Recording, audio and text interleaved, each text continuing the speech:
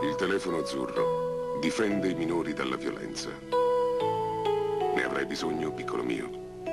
No, speriamo di no.